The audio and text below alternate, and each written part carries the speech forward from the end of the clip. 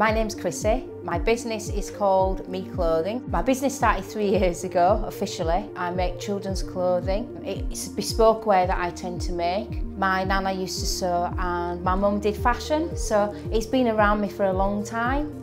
Being a single mum and bringing up children, it's been a way for me to be able to clothe my children with something that was really nice and not have to spend lots of money. It's, it's not like a job, it's more like a hobby and it's a way of life. I chose to focus on making children's clothes because it makes them feel special.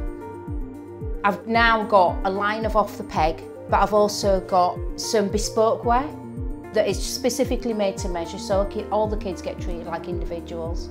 I had a job, so I was working full time, and in between that, on my days off, I started doing stalls at Car Boots. So I used to do the stall at, at Resurgent Car Boot just here, and then from there, it just sort of progressed, and I started doing craft fairs. I went to a networking meeting and they advised me to come to Outset for some help.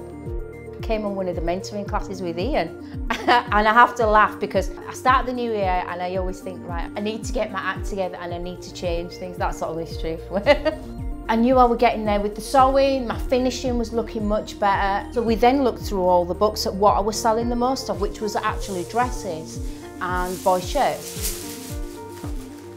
I think from doing all the different markets that, I, that I've done over the years, and I've done markets from here to as far as St Ives, that helped me with the customer profiling.